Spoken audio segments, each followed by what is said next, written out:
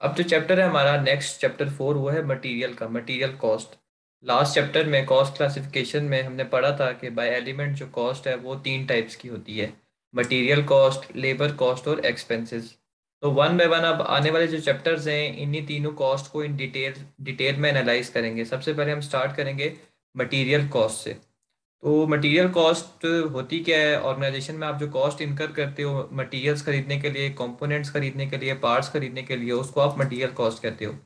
और मैंने आपको बताया भी था कि आगे मटेरियल कॉस्ट की दो टाइप्स होती हैं। एक होता है डायरेक्ट मटेरियल एक होता है इनडायरेक्ट मटेरियल डायरेक्ट मटेरियल का मतलब होता है वो मटेरियल जो कि आप डायरेक्टली ट्रेस कर सकते हो कॉस्ट यूनिट पे, किसी कॉस्ट सेंटर पे या किसी प्रोडक्ट पे, वो आपका डायरेक्ट मटेरियल होता है।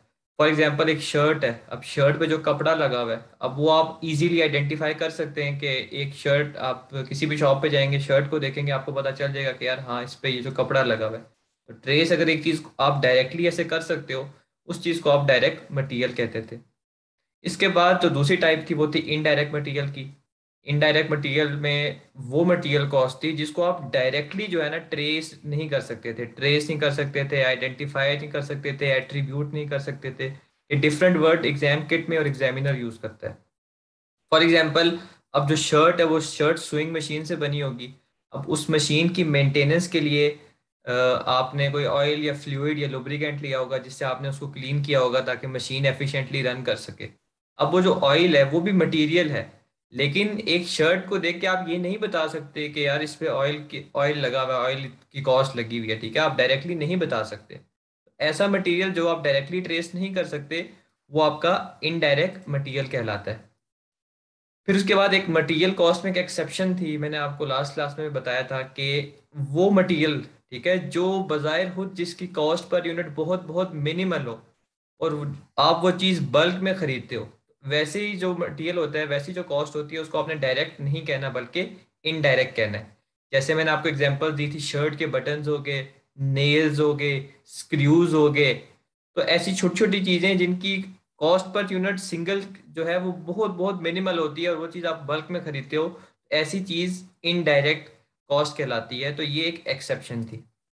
अब हम बात करते हैं मटेरियल्स के फर्दर डिटेल में। अब जो मैन्युफैक्चरिंग ऑर्गेनाइजेशन होती हैं, उनमें जो सबसे ज़्यादा यूज़ होने वाला मटेरियल है, वो इन्वेंट्री कहलाता है, ठीक है?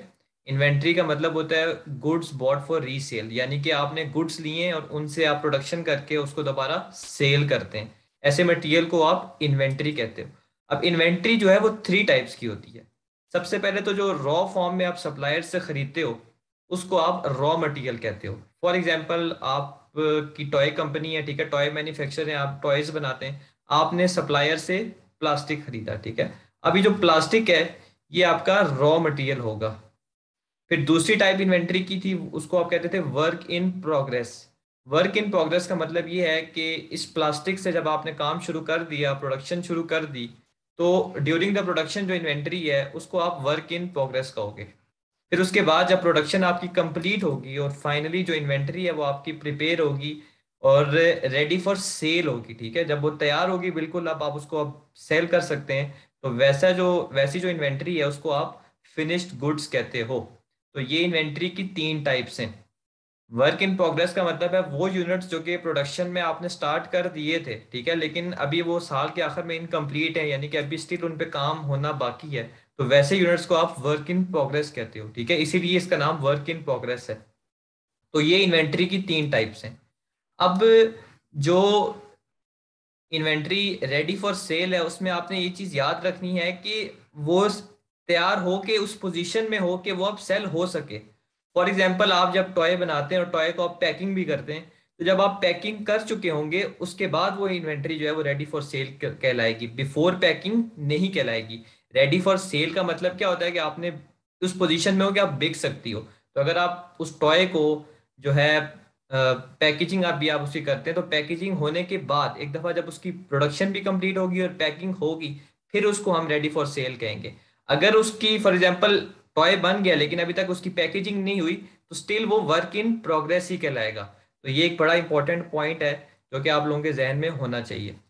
तो ये इन्वेंट्री की जो है तीन टाइप्स थी रॉ मटेरियल जो कि रॉ फॉर्म में आप सप्लायर से खरीदते हो फॉर एग्जांपल आप टॉय मैन्युफैक्चर आपने प्लास्टिक लिया, जब आपने उसको प्रोडक्शन में डाल दिया प्लास्टिक से आपने टॉयज फाइनली बनाना शुरू कर दिए तो उस इन्वेंट्री को आप वर्क इन प्रोग्रेस कहोगे और जब वो प्रॉपर रेडी हो गए, अब इस पोजीशन में आ गए कि आप उसको सेल कर सकते हो तो वो फिनिश गुड्स इन्वेंट्री कहलाएगी।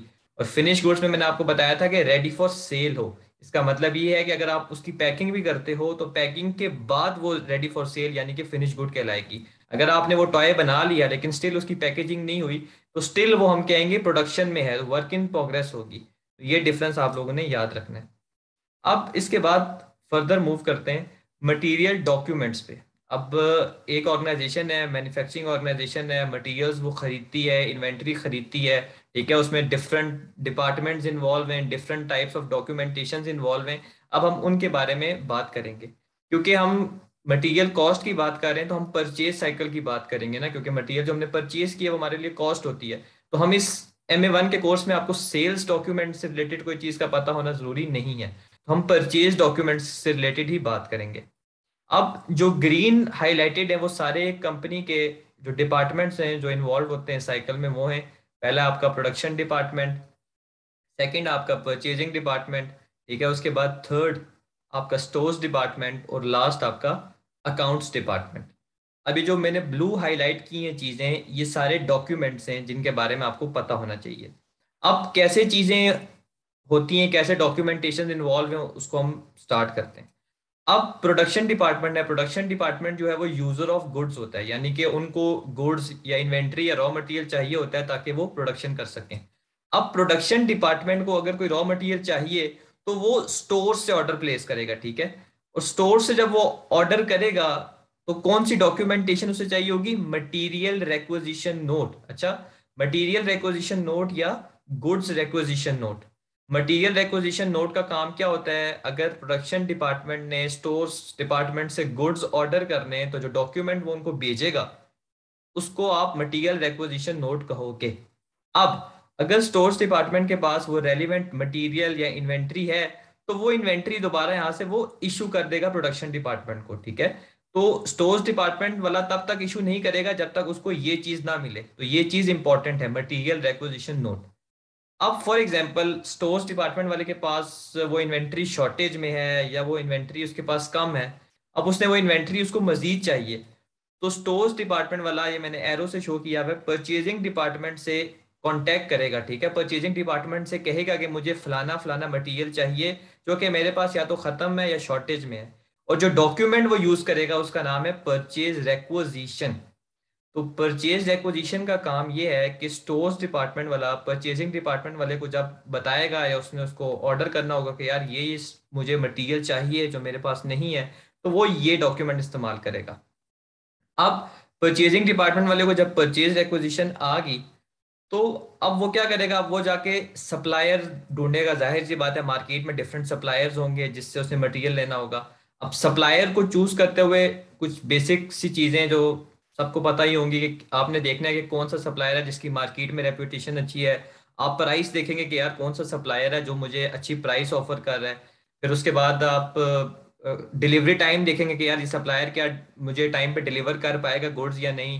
फिर आप देखेंगे देखेंगे कि यार क्या इसके साथ मेरे कोई पास्ट में हमारी डीलिंग हुई थी बिज़नेस हुआ था तो हमारे रिलेशन पास्ट के कैसे हैं। तो ये फैक्टर्स को कंसिडर करते हुए कोई एक सप्लायर वो चूज़ करेगा।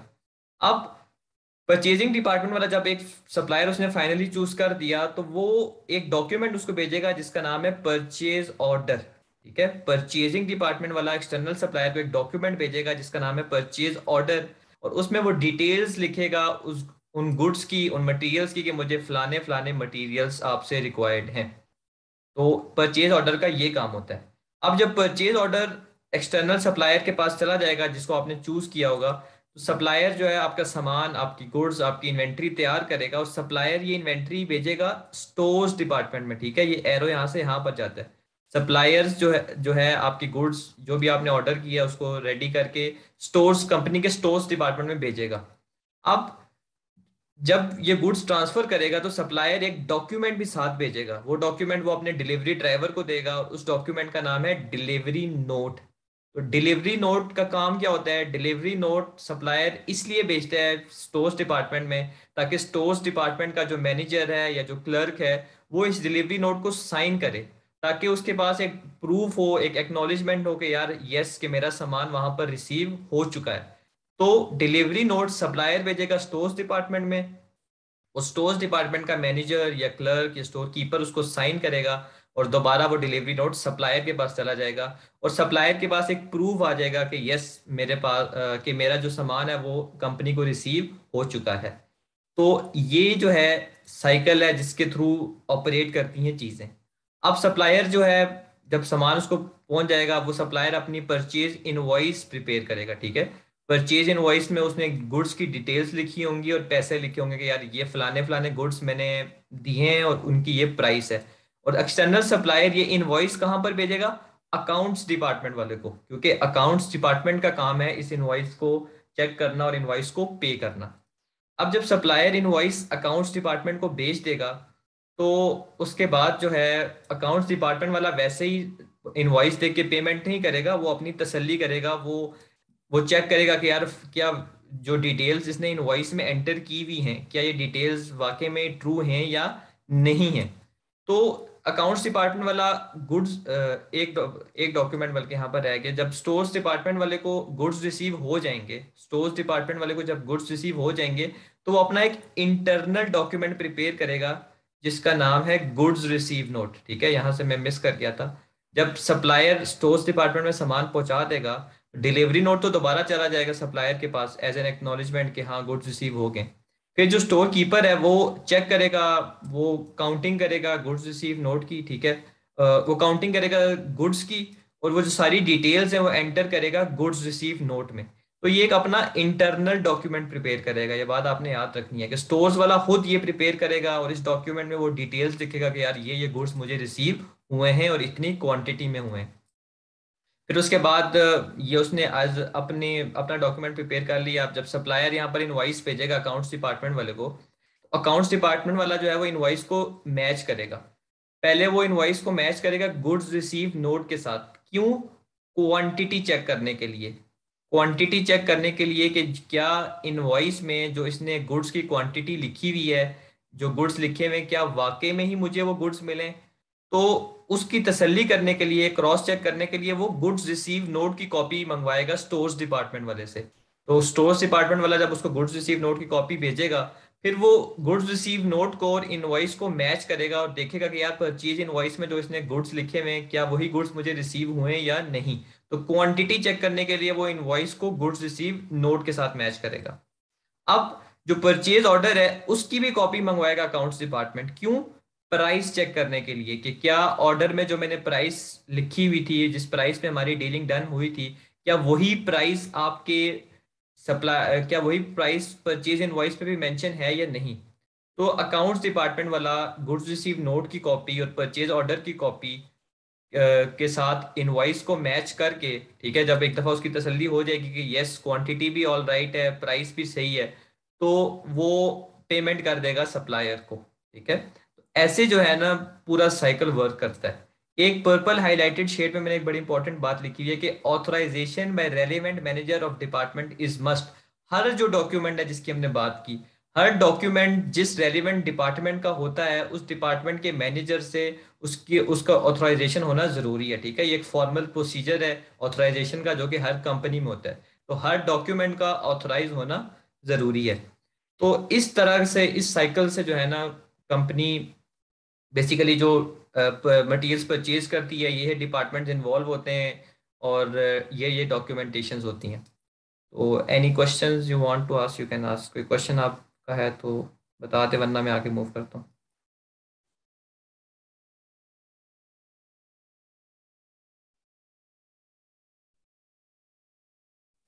सही है। अब ये वही चीज़ें मैंने लिखी हुई हैं ठीक है? ये सारी आ, ये वही चीज़ें मैंने मेंशन की हुई है material acquisition production department stores को बेचता है और इसका मकसद ऑथराइज होता है ऑथराइजेशन करना स्टोर्स डिपार्टमेंट को कि यार हाँ ये डॉक्यूमेंट रिसीव हो गया तो आप गुड्स रिलीज़ कर सकते हो। परचेज एक्विजिशन स्टोर्स वाला परचेजिंग डिपार्टमेंट को सेंड करता है और उसका मकसद क्या होता है, उसको नोटिफाई करना क्या ये ये मटेरियल मुझे चाहिए। परचेज ऑर्डर जो है वो परचेजिंग डिपार्टमेंट वाला एक्सटर्नल सप्लायर को सेंड करता है, ठीक है? और इसका मकसद होता है गुड्स ऑर्डर करना और इसकी कॉपी जो है आप अकाउंट्स को भी बेचती हो प्राइस चेक करने के लिए। और फैक्टर्स जो कंसीडर आपने करने होते हैं सप्लायर को चूज़ करते हुए प्राइस क्वालिटी ऑफ़ गुड्स की क्या वो हमें अच्छा गुड्स देगा पास रिलेशन डिलीवरी प्रॉमिस ठीक है? तो ये सारे फैक्टर्स जिनके बारे में हम डिस्कशन कर चुके हैं। देन डिलीवरी नोट जो है वो सप्लायर स्टोर्स में बेचता है गुड्स डिलीवर के साथ। उसका मकसद ये होता है कि सप्लायर को एज अ प्रूफ मिल जाता है कि यार हाँ मेरे सामान जो है वो स्टोर्स डिपार्टमेंट तक पहुँच गया फिर जब सामान रिसीव हो जाता है तो स्टोर्स वाले इंटरनल डॉक्यूमेंट प्रिपेयर करते हैं अपना, जिसमें डिटेल्स लिखते हैं quantity quality condition of goods ठीक है, उसके उसके, वो डिटेल्स डालते हैं। फिर इसकी कॉपी भी अकाउंट्स डिपार्टमेंट को जाती है क्वांटिटी चेक करने के लिए इनवॉइस के अगेंस्ट इनवॉइस जो है, वो ऑर्डर परचेज ऑर्डर और गुड्स रिसीव नोट की कॉपी के साथ मैच होकर फिर पे होती है, ठीक है? और इनवॉइस फिर एंड पे सप्लायर अकाउंट्स डिपार्टमेंट को भेजता है। तो ये वही चीज़ें मैंने सेपरेट लिखी हुई हैं। अब इनके अलावा कुछ डॉक्यूमेंट्स हैं जो इन्वॉल्व होते हैं, उनके बारे में अभी हम बात कर लेते हैं। मेन डॉक्यूमेंट्स ये थे, कुछ और भी डॉक्यूमेंट्स हैं। सबसे पहले मटेरियल्स रिटर्न नोट ठीक है? अब अभी हमने बात की थी मटेरियल रेकोजिशन नोट की स्टोर्स वाला जो है प्रोडक्शन डिपार्टमेंट वाला स्टोर्स वाले को मटेरियल रेकोजिशन नोट बेचता है। उसमें उसने लिखा होता है कि यार, ये ये मटेरियल्स मुझे चाहिए, आप मुझे सेंड कर दो। अब फॉर एग्जांपल स्टोर्स वाले ने प्रोडक्शन वाले को मटेरियल्स भेज दिए। लेकिन प्रोडक्शन डिपार्टमेंट का साल के आखिर में कुछ मटेरियल्स अनयूज थे, यानी कि उसकी प्रोडक्शन कंप्लीट हो गई थी और अब इन मटेरियल्स का कोई फ़ायदा नहीं था। तो प्रोडक्शन डिपार्टमेंट वाला, अगर उसने वो मटेरियल्स दोबारा स्टोर्स में सेंड करनी हो, ठीक है? मैंने production department to stores department लिखा हुआ है। तो जो डॉक्यूमेंट वो यूज़ करेगा, उसका नाम होगा मटीरियल्स रिटर्न नोट तो मटीरियल्स रिटर्न नोट पे ये लिखा होगा कि यार प्रोडक्शन डिपार्टमेंट वाले ने स्टोर्स डिपार्टमेंट वाले को इतने गुड्स दोबारा भेज दिए हैं तो उसकी डिटेल्स इस डॉक्यूमेंट में इन्वॉल्व होंगी। उसके बाद मटेरियल्स ट्रांसफ़र नोट है, ठीक है? मटेरियल्स ट्रांसफ़र नोट का मकसद ये होता है कि फॉर एग्जांपल कंपनी में दो प्रोडक्शन डिपार्टमेंट्स हैं। अब एक प्रोडक्शन डिपार्टमेंट वाले के पास फालतू मटेरियल पड़ा हुआ है और दूसरे प्रोडक्शन डिपार्टमेंट वाले को चाहिए। अब एक प्रोडक्शन डिपार्टमेंट वाला, अगर उसने दूसरे प्रोडक्शन डिपार्टमेंट वाले को कोई गुड्स ट्रांसफ़र करने हैं तो वो कर सकता है और डॉक्यूमेंट जो यूज़ करेगा, उसका नाम होगा मटीरियल्स ट्रांसफ़र नोट ठीक है? फिर उसके बाद दो इंपॉर्टेंट ये नोट्स हैं, इनके बारे में आपको पता होना चाहिए डॉक्यूमेंट्स हैं। एक है डेबिट नोट एक है credit note debit note no no return note is bit different return note जो होता है रिटर्न नोट प्रोडक्शन डिपार्टमेंट वाला स्टोर्स को गुड्स रिटर्न कर रहा होता है, अगर कोई फालतू हो। क्रेडिट नोट तो हम सप्लायर को बेचते हैं ना, अभी मैं उसके बारे में आपको बताता हूँ तो फिर आपको क्लैरिटी आ जाएगी। रिटर्न नोट कंपनी के अंदर ही होता है। ठीक है? जो क्रेडिट नोट है, वो तो सप्लायर के साथ डीलिंग में आता है। अब डेबिट नोट स्टोर्स डिपार्टमेंट वाला सप्लायर को बेचता है। और क्यों बेचता है? अगर सप्लायर अगर स्टोर्स डिपार्टमेंट वाले ने जो गुड्स उसको मिले हैं, अगर उस गुड्स जो गुड्स हैं, वो कोई फॉल्टी हो, खराब हो, या अकॉर्डिंग टू रिक्वायरमेंट्स ना हो, जो हमने मंगवाए थे वो ना हो तो सब स्टोर्स वाला बंदा सप्लायर को एक डॉक्यूमेंट भेजेगा जिसका नाम है डेबिट नोट और डेबिट नोट में वो लिखेगा कि फलाना फलाना जो आइटम है आपने मुझे दिया है, ये फॉल्टी है या ये आइटम मैंने नहीं मंगवाया था, आपने गलत आइटम बेच दिया। तो डेबिट नोट का ये मकसद होता है। तो जो स्टोर्स वाला है, वो सेंड करेगा सप्लायर को डेबिट नोट ठीक है? और उसमें क्या लिखेगा कि यार आपने ये चीज़ मुझे अकॉर्डिंग टू रिक्वायरमेंट्स नहीं दी है डैमेज थी या फॉल्टी थी। अब जब सप्लायर को डेबिट नोट मिलेगा तो सप्लायर उस डेबिट नोट को रिसीव करते हुए उसके अगेंस्ट क्रेडिट नोट जनरेट करेगा। क्रेडिट नोट का मकसद ये होता है कि सप्लायर कहेगा कि जितने जो मैंने आपको गुड्स फॉल्टी दिए या जो आपकी रिक्वायरमेंट्स के मुताबिक नहीं थे, आप उनकी प्राइस जो है ना वो इनवॉइस में से कैंसिल कर दो। इसका क्या मतलब हुआ? इसका मतलब ये हुआ कि फॉर एग्ज़ाम्पल हज़ार डॉलर के गुड्स जो है ना सप्लायर ने आपको डिलीवर किए थे। तीन सौ डॉलर के गुड फॉल्टी निकले। अब ये जो तीन सौ डॉलर के गुड थे ये आपने डेबिट नोट के थ्रू सप्लायर को इन्फॉर्म किया कि यार ये फलाने फलाने गुड्स जो हैं, ये तो फल डैमेज हैं, या हमने जो मंगवाए थे वो नहीं है। तो सप्लायर क्रेडिट नोट जनरेट करेगा। उसमें कहेगा कि यार ये जो तीन सौ है ना इससे तुम अपनी इन्वाइस को काट दो। पेमेंट रिमेनिंग यानी कि सिर्फ़ सेवन हंड्रेड करते ना। तो ये होता है डेबिट नोट और क्रेडिट नोट क्लियर है ये? कोई क्वेश्चन है तो पूछ लें, फिर आगे मूव करते हैं।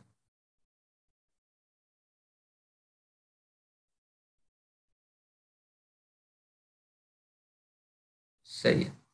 अब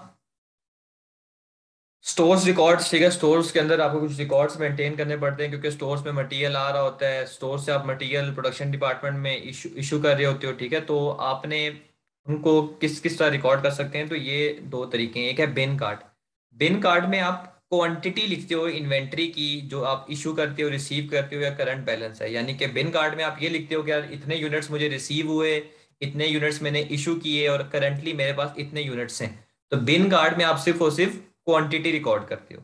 जो इन्वेंट्री लेजर सिस्टम है, उसमें आप क्वांटिटी और वैल्यू दोनों रिकॉर्ड करते हो।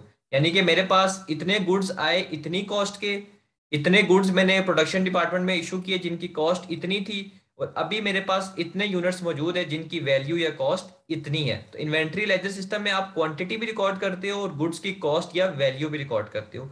तो ये इसमें इनका ये डिफरेंस है बिन कार्ड में और इन्वेंट्री लेजर सिस्टम में।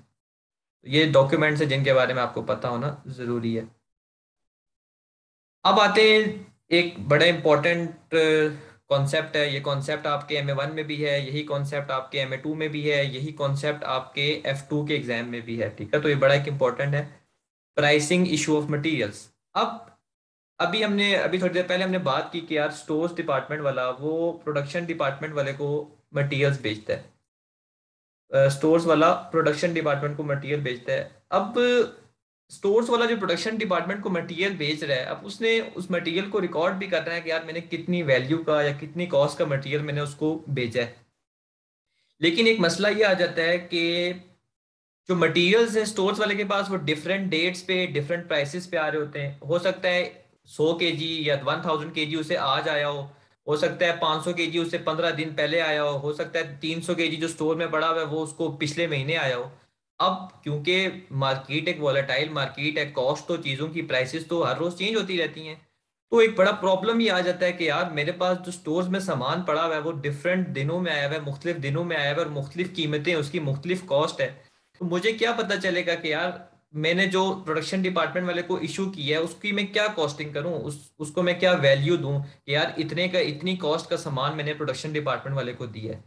तो ये जो प्राइसिंग की इशू है ना, इस इशू को सॉल्व करने के लिए चार मेथड्स हैं जो हम यूज़ करते हैं, ठीक है? सबसे पहला मेथड है first in first out method first in first out method में आप क्या करते हैं कि जो सामान आपके पास सबसे पहले आया होता है ना आप वही सामान सबसे पहले देते हो। यानी कि फॉर एग्जांपल आपके पास आपको एक स्टोर्स डिपार्टमेंट वाली की तरफ़ से एक रेकोजिशन नोट मिला कि यार इतना सामान मुझे इशू कर दो, ठीक है? मुझे 200 केजी दे दो। तो आप वो वाला 200 केजी देंगे जो आपको सबसे पहले रिसीव हुआ है, ठीक है? उसी की प्राइस पे देंगे, उसी की कॉस्ट पे देंगे।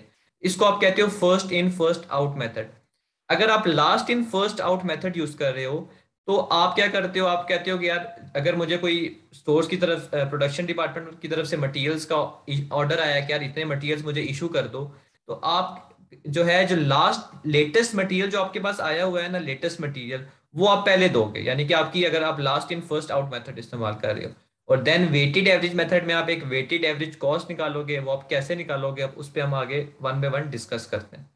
तो ये एक एग्जांपल आपके सामने, ठीक है? ये मैंने किट से उठाई है एग्जांपल अब फॉर एग्जांपल इस, इसमें जो हमने रिक्वायरमेंट है हमारी, वो हमने निकालनी है क्लोजिंग इन्वेंट्री क्लोजिंग इन्वेंट्री जो है, जो हमारे पास इन्वेंट्री बच जाएगी साल के आखिर में या महीने के आखिर में, उसकी वैल्यू क्या है? अब इसी क्वेश्चन से मैं आपको सारे मेथड्स करके बताऊँगा। First in first out last in first out जो वेटेड एवरेज के दोनों मेथड्स हैं कम्युलेटिव मेथड है एक पीरियोडिक तो स्टार्ट करते हैं। अब एक एक फॉर्मेट है। ये फॉर्मेट अगर आपको आता है ना तो बस आपके लिए कोई चीज़ मुश्किल नहीं है। यही फॉर्मेट को आपने फॉलो करना है और इसी फॉर्मेट के थ्रू आप सब आंसर्स निकाल सकते हैं। मैं आपको एंड पे बताऊँगा भी कि कैसे और किस तरह एग्जामिनर आपसे सवाल पूछ सकता है। फॉर्मेट में एक बनाने जा रहा हूँ, ये आप लोगों ने याद रखना है। सबसे पहले डेट उसके बाद आपने लिखना है इन्वेंट्री स्टेटस इन्वेंट्री स्टेटस का मतलब है कि इन्वेंट्री क्या है? ओपनिंग इन्वेंट्री है इन्वेंट्री आ रही है इन्वेंट्री जा रही है, क्या है? उसके बाद आपने लिखने हैं यूनिट्स ये कितने यूनिट्स हैं? उसके बाद आपने लिखना है कॉस्ट पर यूनिट एक यूनिट की क्या कॉस्ट है? और देन टोटल वैल्यू एक यूनिट की इतनी कॉस्ट है तो जितने यूनिट्स हैं, उनकी टोटल वैल्यू क्या होगी? तो ये फॉर्मेट है और ये फॉर्मेट की टू सक्सेस है। ये फॉर्मेट अगर आप बना के सारा कोई, सारे क्वेश्चन अटैम्प्ट करेंगी अटैम्प्ट करेंगे तो कोई प्रॉब्लम आप फेस नहीं करेंगे। तो सबसे पहले जो है, मैं फाइफो मेथड करूँगा, ठीक है? First in first out out method यही एग्जांपल से मैं चारों मेथड्स आपको कराऊँगा। First in first out FIFO का मतलब है फ़र्स्ट इन फ़र्स्ट आउट यानी कि जो सबसे पहले इन्वेंट्री आपके पास आएगी, वही इन्वेंट्री आपने सबसे पहले इशू करनी है। इशू करने का मतलब होता है देना। रिसीट का मतलब है कि आपको रिसीव हो रही है। अब ये एग्ज़ाम्पल है, अब इसको हम स्टार्ट करते हैं। सबसे पहले ओपनिंग इन्वेंट्री है। ओपनिंग इन्वेंट्री का मतलब है महीने के शुरू की इन्वेंट्री क्योंकि हम मंथ ऑफ़ जनवरी की बात कर रहे हैं तो फ़र्स्ट जैन और इन्वेंट्री जो है, वो ओपनिंग इन्वेंट्री है, मैं ओपी लिख लेता हूँ। और इसके यूनिट्स कितने फाइव हंड्रेड। फाइव हंड्रेड इसके यूनिट्स हैं। अब इन्होंने डॉलर में आपको वैल्यू बताई गई है, यानी कि टोटल वैल्यू बताई गई है। तो टोटल वैल्यू इसकी ट्वेल्व फिफ्टी है। अब आपको पता है कि ट्वेल्व फिफ्टी इसकी वैल्यू है और फाइव हंड्रेड यूनिट्स हैं। तो कॉस्ट पर यूनिट निकालने के लिए ट्वेल्व फिफ्टी को आप फाइव हंड्रेड से डिवाइड कर देंगे। ये आपके पास आ जाएगा two point five. Total value बारह सौ पचास है और यूनिट्स पाँच सौ हैं तो एक की वैल्यू टू पॉइंट फाइव आ गई। इसके बाद आपको फोर जनवरी को यूनिट्स जो हैं वो रिसीव हुए ठीक है? ये रिसीट्स की डिटेल लिखी है। रिसीव का मतलब है कि आर है। तो यहाँ पर इन्वेंट्री जो है वो रिसीव में लिख सकता हूँ रिसीट्स आर का मतलब कि हमें रिसीव हुई है। कितने यूनिट्स हमें रिसीव हुए वन थाउज़ेंड यूनिट्स हमें रिसीव हुए और इनकी वैल्यू कितनी है? ट्वेंटी सेवन फिफ्टी अगर मैंने कॉस्ट पर यूनिट निकालना है तो मैं सीधा सीधा इनको डिवाइड कर दूँगा। Twenty seven fifty divide by thousand से आपके पास टू पॉइंट सेवन फाइव आ जाएगा। उसके बाद 11 जनवरी को अगेन आपने यूनिट्स रिसीव किए तो मैं आर लिखूँगा। 1600 यूनिट्स आपने रिसीव किए मैं 1600 यहाँ पर लिख देता हूँ। इनकी वैल्यू थी 4480 और कॉस्ट पर यूनिट जो है वो होगी 4480 डिवाइडेड बाय 1600 2.8 आ जाएगी मेरे पास। उसके बाद अगेन 18 जनवरी को मैंने सामान रिसीव किया तो मैं यहाँ पर आर लिखूँगा रिसीव ट्वेल्व हंड्रेड मैंने यूनिट्स रिसीव किए, उनकी वैल्यू थी थ्री फोर एट ज़ीरो तो three four eight zero divided by twelve hundred मेरे पास आ जाएगा टू पॉइंट नाइन अब आता है नाइनटीन जनवरी को इशू नाइनटीन जनवरी को इशू इशू का मतलब है कि आपने यूनिट्स देने हैं प्रोडक्शन डिपार्टमेंट को. इशू के लिए मैं आई लिख रहा हूँ और इसमें मैं ब्रैकेट डाल रहा हूँ। इसकी रीज़न ये है कि यार, ये तो मैंने देने देने हैं, इसका मतलब ये है ना कि मेरे यूनिट्स कम होंगे। तो मैंने ट्वेंटी वन हंड्रेड यूनिट्स देने हैं तो मैं इसके अगेंस्ट एक ब्रैकेट डाल देता हूँ। यानी कि ये यूनिट्स जाएँगे क्योंकि मैंने स्टोर से निकाल के प्रोडक्शन को देने अब सवाल ये पैदा होता है कि प्रोडक्शन को किस कॉस्ट पे देने जब आप यूनिट्स उसको दोगे तो क्या कॉस्ट रिकॉर्ड करोगे यार, इस कॉस्ट पे मैंने उसको दिए तो यही तो हम पढ़ रहे हैं प्राइसिंग इशू प्राइसिंग इशू तो क्योंकि मैं first in first out method इस्तेमाल कर रहा हूँ तो मैं क्या करूँगा? मैं सबसे पहले वो वाले यूनिट्स दूँगा जो मेरे पास सबसे पहले आए यानी कि जो सबसे पहले वाले पड़े हुए, वो पहले दूँगा, फिर उसके बाद उससे नेक्स्ट वाले, और उसके बाद उससे नेक्स्ट वाले। तो यहाँ पर आप लिख दें डब्ल्यू वन यानी कि वर्किंग वन तो यहाँ पर सेपरेटली हम वर्किंग करते हैं। अब आपने ट्वेंटी वन हंड्रेड यूनिट्स देने, और आप फ़र्स्ट इन फ़र्स्ट आउट पढ़े तो पहले जो सबसे पुराने पड़े हुए आप वो देंगे, फिर उसके बाद उससे नए उससे नए, ऐसे करके आपने देने। तो ट्वेंटी वन हंड्रेड आपने देने तो सबसे पहले तो आप ट्वेंटी वन हंड्रेड जो है ना, इन फाइव हंड्रेड को, इस इस फाइव हंड्रेड को पहले देंगे, क्योंकि ये सबसे पहले पड़ा हुआ है फ़र्स्ट इन फ़र्स्ट आउट तो इक्कीस सौ में से पाँच सौ जो है, वो आप देंगे एक जनवरी वाला, और उसकी वैल्यू कितनी थी? टू पॉइंट फाइव तो वो पाँच सौ आप टू पॉइंट फाइव पे देंगे प्लस उसके बाद आप ये वन थाउज़ेंड देंगे। ये वन थाउज़ेंड जो आपने चार जनवरी के लाए थे, वो वन थाउज़ेंड आप कितनी कॉस्ट पे देंगे? टू पॉइंट सेवन फाइव पे। तो multiply by two point seven five अब पंद्रह सौ तो आप दे चुकी हैं इक्कीस सौ था, इक्कीस सौ में से पंद्रह सौ आप लोग दे चुके हैं तो पीछे कितना बच गया? सिक्स हंड्रेड बच गया। वो सिक्स हंड्रेड आप यहाँ से देंगे। तो मैं यहाँ से, यहाँ पर प्लस कर दूँगा। Plus six hundred times two point eight तो फ़र्स्ट इन फ़र्स्ट आउट ऐसे ऑपरेट करता है कि जो फ़र्स्ट हैं, जो स्टार्टिंग वाले हैं, उनको देना है, फिर उससे नेक्स्ट फोर, फिर उससे नेक्स्ट ठीक है? तो ये ऐसे वर्किंग होगी। ये चीज़ क्लियर है आपको, ये जो किया है मैंने? अब इनको कैलकुलेट कर लेते हैं, ठीक है? इनकी वैल्यू क्या है? इन सारों को मल्टीप्लाई करके आप ऐड करें six hundred times two point eight sixteen eighty आ जाएगा। और ऊपर वाला twenty seven fifty then twelve fifty तो five thousand six hundred and eighty बन रहा है। तो जो ट्वेंटी वन हंड्रेड यूनिट्स मैंने दिए हैं, उनकी वैल्यू होगी फाइव सिक्स एट ज़ीरो ऐसे जो है फाइफो ऑपरेट करता है। कोई क्वेश्चन है तो पूछ लें आप। कोई प्रॉब्लम है तो पूछ लें।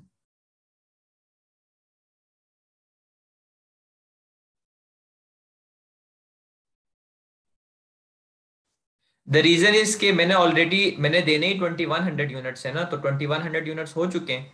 फाइव हंड्रेड यहाँ से दिए तो यहाँ पर मतलब ज़ीरो रह गया। वन थाउज़ेंड यूनिट्स मैंने यहाँ से दिए तो यहाँ पर ज़ीरो हो गया। देखे ना टोटल ट्वेंटी वन हंड्रेड देने। फिफ्टीन हंड्रेड दे चुका, पीछे सिक्स हंड्रेड रह गए तो सिक्स हंड्रेड में यहाँ से दूँगा। यानी कि अलेवन जनवरी के मेरे पास सिर्फ़ और सिर्फ़ हज़ार बच जाएँगे। ट्वेंटी वन हंड्रेड सारे का सारा मैं इशू कर चुका हूँ ना। तो दैट इज़ द रीज़न कि एटीन जनवरी वालों की तो अभी ज़रूरत ही नहीं है, क्योंकि ऑलरेडी मैं वो सारे जो देने थे मैंने कर लिए ठीक है। अब वैल्यू ऐसे निकालनी है आपने, ठीक है। तो अब जो आप इक्कीस इक्कीस सौ यूनिट्स देंगे, वो इस कॉस्ट पे देंगे, इस प्राइस पे देंगे या इस कॉस्ट पे देंगे प्रोडक्शन डिपार्टमेंट वाले को। और हम यही पढ़ रहे हैं कि अगर हमने यूनिट्स प्रोडक्शन डिपार्टमेंट को भेजने हैं तो यार हमें पता होना चाहिए कि हमने कितनी कॉस्ट के यूनिट्स भेजें और उसी का हम पहला मेथड पढ़ रहे हैं फाइफो अब 19 जनवरी के बाद अगेन अगेन 25 जनवरी को आपको रिसीट्स मिली है, यानी कि यूनिट्स रिसीव हुए तो 1500 यूनिट्स रिसीव हुए हैं और वैल्यू है उनकी फोर थ्री फाइव ज़ीरो ठीक है? फोर थ्री फाइव ज़ीरो तो four three five zero divided by fifteen hundred में करता हूँ, मेरे पास कॉस्ट पर यूनिट आ जाएगी। तो वो आ गई है मेरे पास टू पॉइंट नाइन अब महीने के एंड पे थर्टी फ़र्स्ट जनवरी को फिर से मैंने इशू करने 1800 यूनिट्स तो। इशू करना है इशू करने का मतलब होता है देना, यानी कि नेगेटिव माइनस कर दूँगा, क्योंकि ये तो मुझे देने तो स्टोर से निकल जाएँगे। 1800 मैंने देने और मैं first in first out method पढ़ रहा हूँ तो मैं वर्किंग टू लिखता हूँ, और यहाँ पर मैं वर्किंग टू लिखता हूँ। अब मैंने first in first out method से 1800 यूनिट्स देने तो मैं सबसे जो पहले वाले उनको पहले दूँगा, और उसके बाद वाले उनको बाद में दूँगा, ऐसे ही चलूँगा। अब मेरे पास जो सबसे पुराने पड़े हुए वो मेरे पास ये 11 जनवरी के हज़ार यूनिट्स बच गए। 600 में दे चुका था तो पीछे हज़ार रहते हैं। ऊपर वाले तो दोनों में ऑलरेडी दे चुका हूँ तो मेरे पास रहे ही नहीं है इन्वेंट्री तो मैं ये हज़ार दूँगा, और इन हज़ार की कॉस्ट क्या है? Two point eight.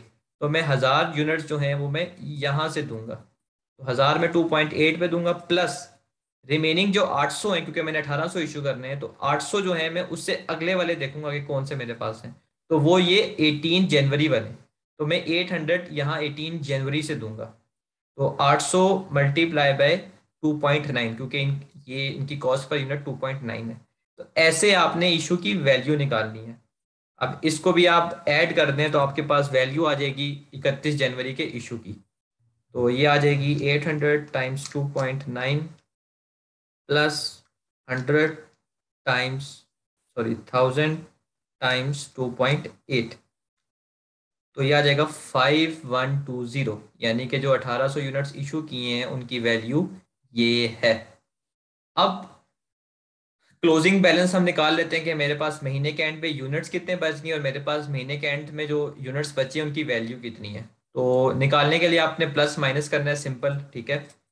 500 यूनिट्स आपके पास फ़र्स्ट जनवरी पे थे 400 यूनिट्स आपके पास थे सॉरी 1000 यूनिट्स आपके पास फोर जनवरी पे थे 1600 यूनिट्स आपके पास 11 जनवरी पे थे 1200 यूनिट्स आपके पास 18 जनवरी पे थे। फिर 2100 आपने दे दिए तो 2100 को माइनस करना है। देन अगेन आपके पास 1500 आए, वो ऐड करना है। देन अगेन आपने 1800 यूनिट्स दे दिए। तो महीने के आखिर में जो आपके पास यूनिट्स बच गए, वो 1900 यूनिट्स बच चुके हैं। और वो आप वैसे भी निकाल सकते हैं कि ये देखें ना, ये हज़ार भी आपने दे दिए थे तो यहाँ से भी ज़ीरो हो गया बैलेंस। इन 1200 में से 800 आपने ऑलरेडी दे दिया तो यानी कि 400 रह गए ये वाले। चार सौ ये वाले रह गए और पंद्रह सौ ये वाले। इनको आप डायरेक्ट भी प्लस करें तो उन्नीस सौ आता है, वरना ऊपर से भी आप वर्किंग करें तो सेम ही होगा। तो ये तो यूनिट्स आ गए। अब अगर हमने इनकी वैल्यू निकालनी है, कितने वैल्यू के यूनिट्स थे तो उसके लिए इस, ये सारे जो पॉजिटिव हैं, इनको ऐड करना है। और जितनी कॉस्ट आपने दे दी है उसको माइनस करना है, ठीक है? तो अब इसको माइनस प्लस करते हैं। ट्वेल्व फिफ्टी थे हमारे पास वैल्यू फिर ट्वेंटी सेवन फिफ्टी के मजीद आए, फिर फोर थाउज़ेंड फोर एटी के मजीद आए, उसको मैं ऐड करूँगा। थ्री थाउज़ेंड फोर एटी के मजीद आए, उसको मैं ऐड करूँगा। फिर फाइव थाउज़ेंड सिक्स एटी के मैंने इशू कर दिए, वो मैं माइनस करूँगा। फिर मेरे पास फोर थ्री फाइव ज़ीरो आए, मैं वो ऐड करूँगा। देन अगेन मैंने फाइव वन टू ज़ीरो को डिडक्ट कर दिया तो वो मैं निकाल दूँगा। तो महीने के आखिर में जो मेरे पास इन्वेंट्री बच गई है, उसकी value five five one zero होगी। और महीने के आखिर में जो इन्वेंट्री बच जाए, उसको आप क्लोजिंग इन्वेंट्री कहते हो। सी डी का मतलब है कैरी डाउन या क्लोजिंग ठीक है? तो ये आपका फाइफो मेथड है। ये क्लोजिंग इन्वेंट्री भी आ गई और कितनी कॉस्ट पे हमने इशू करने उस पर भी हमने डिस्कस कर लिया। कोई क्वेश्चन है तो पूछ लें, फिर मैं आगे आपको बताता हूँ कि एग्जामिनर क्या क्या पूछेगा, क्या क्या रिक्वायरमेंट आ सकती है एग्ज़ाम में। कोई क्वेश्चन है?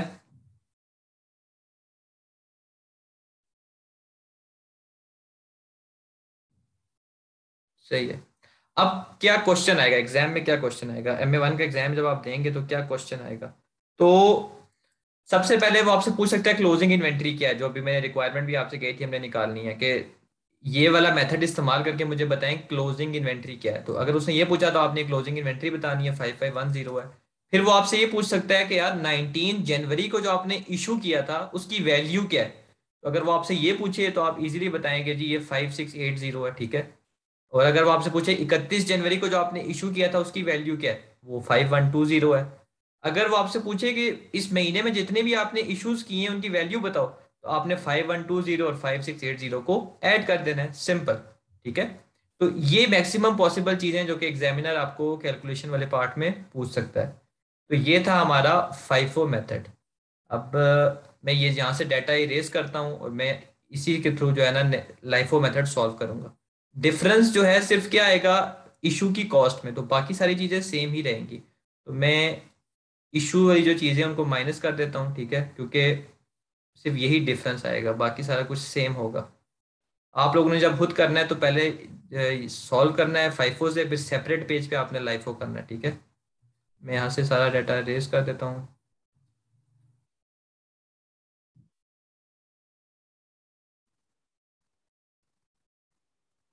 अब हमारा क्लोजिंग वैल्यू यूनिट्स भी हमारे उन्नीस सौ ही रहेंगे, ठीक है? सिर्फ़ हमारा ये वर्किंग वन और वर्किंग टू चेंज होगी मैं यहाँ से इसको रेस कर देता हूँ। अब यहाँ से हम जो मेथड पढ़ने जा रहे हैं, वो है LIFO LIFO last in first out last in first out का मतलब ये है कि जो यूनिट्स आपके पास जो लेटेस्ट आए ना लेटेस्ट जो रीसेंट वाले, वो आपने पहले देने। उसके बाद उससे पुराने वाले, उसके बाद उससे पुराने वाले। यानी कि अब हम उल्टा चल रहे हैं। तो अब देखते हैं। बाकी सारी चीज़ें तो ऑलरेडी वही है, कोई चेंजेस नहीं आएँगी जस्ट हमारी इशू की कॉस्ट में इशू की वैल्यू में डिफरेंस आएगा। तो अब मैं पहले मैंने 2100 इशू करना था वर्किंग वन मैंने यहाँ पर लिख दी है। अब मैं लाइफो मेथड पढ़ रहा हूँ। तो इसका मतलब ये है कि जो पुराने या जो सबसे रिसेंट आए हुए ना, पहले मैंने वो यूनिट्स देने। तो 2100 से पहले 19 जनवरी के 2100 से इशू से पहले मेरे पास जो सबसे रिसेंट यूनिट है वो 18 जनवरी के, और वो कितने? 1200 तो पहले तो मैं 1200 ये वाले दूँगा और उनकी कॉस्ट पर यूनिट थी 2.9 पहले तो मैं ये वाले दे दूँगा। देन क्योंकि मैंने 2100 देने रिमेनिंग 900 मेरे पास रह गए तो रिमेनिंग 900 में उससे पुराने देखूँगा तो उससे पुराने 11 जनवरी वाले। तो मैं वो 900 यहाँ से दूँगा। तो यहाँ पर 700 बच गए। यहाँ पर कुछ भी नहीं बचा। सारे के सारे मैंने दे दिए तो ये हो जाएगा 900 टाइम्स 2.8 1200 मैंने इक्कीस जो मैंने इशू करना था, उसमें से बारह सौ मैंने दिया अठारह जनवरी के यूनिट्स में से, और रिमेनिंग जो नाइन हंड्रेड है, वो मैंने अलेवन जनवरी के यूनिट से दिया। उनकी कॉस्ट पर यूनिट लिखी हुई है। अब मैं इसको ऐड कर लूँगा।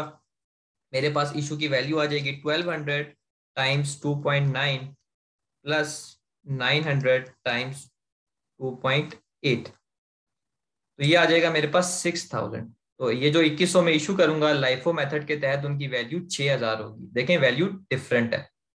अब इसके बाद, अब अगला जो मेरा इशू है वो 1800 है, यानी कि इकतीस जनवरी वाला, और मैं लास्ट इन फ़र्स्ट आउट पढ़ रहा हूँ।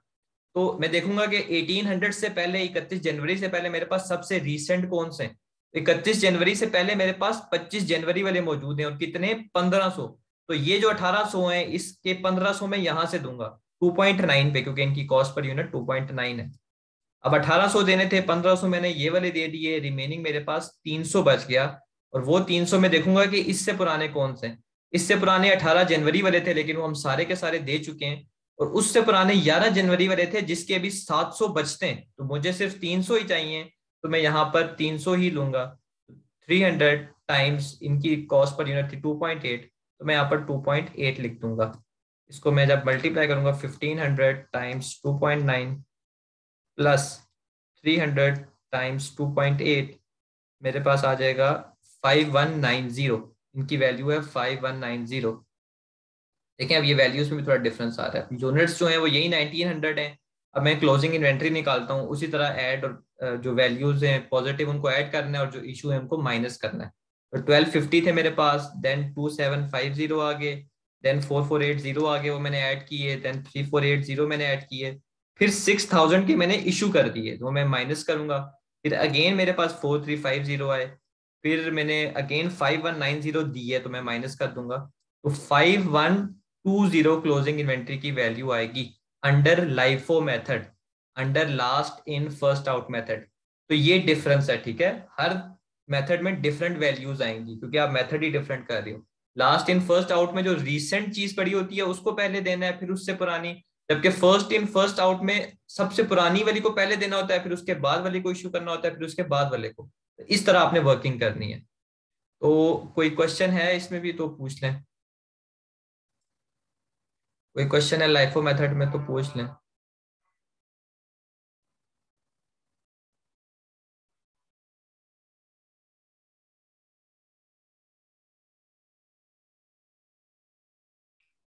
तो ये फिर ये अजान हो रही है, फिर नेक्स्ट क्लास जो है ना मैं यहाँ पर रिकॉर्डिंग फिनिश कर रहा हूँ, फिर इसका पार्ट टू जो है ना मैं अपलोड कर दूँगा नेक्स्ट